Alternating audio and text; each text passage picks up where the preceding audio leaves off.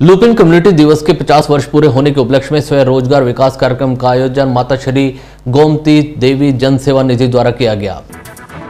यह आयोजन मयूर होटल में किया गया था। इस कार्यक्रम में मुख्य अतिथि जिला परिषद के सीईओ अंशदीन और अध्यक्षता कर रहे थे। पंजाब नेशनल बैंक के मुख्य प्रबंधक सुकमल जैन थे। वहीं संस्था के प्रतिनिधि वेद प्रकाश ने बताया कि 245 बीपीएल परिवारों को स्वयं रोज़गार के लिए जोड़ा जाएगा।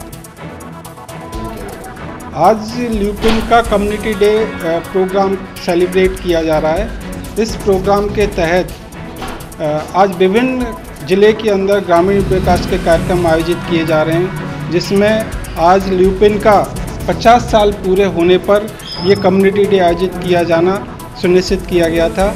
इसके तहत आज जैसे अलवर के अंदर मयूर होटल में करीब 245 बीपीएल परिवारों को स्वरोजगार से जोड़ने का काम किया जा रहा है। साथ में राजगढ़ में आज महिलाओं के लिए उनकी गोद भराई, उनके पोषण और इस तरह के कार्यक्रम आयोजित किए जा रहे हैं। एक मूक बधिर छात्रावास के लिए आज संस्था द्वारा वाटर कूलर का उपलब्ध कराया जा रहा है। जो अलवर का कार्यक्रम है, इस कार्यक्रम में आज हमारे मुख्य अतिथि सम्मानीय जिला परिषद के सी ओ साहब अंशदीप जी और अध्यक्षता कर रहे हैं इस कार्यक्रम की पंजाब नेशनल बैंक के सर्कल हेड सम्मानीय सुखमल जैन साहब हैं। संस्था का मुख्य उद्देश्य यही है कि किस तरह से ग्रामीण क्षेत्रों में जो आजीविका विकास के साधन है व सामाजिक सुरक्षा की स्कीम उनको ग्रामीणों तक पहुँचाया जाए, जिससे कि उनका परिवार है, वो खुशहाल रहे, बच्चों को अच्छी एजुकेशन मिले, बच्चों को रोज़गार मिले, जो हमारी ग्रामीण महिलाएँ उनको हम स्वयं सहायता समूह के माध्यम से जिनको आज लाभान्वित किया जा रहा है, उनको भी कई तरह के कार्यक्रमों से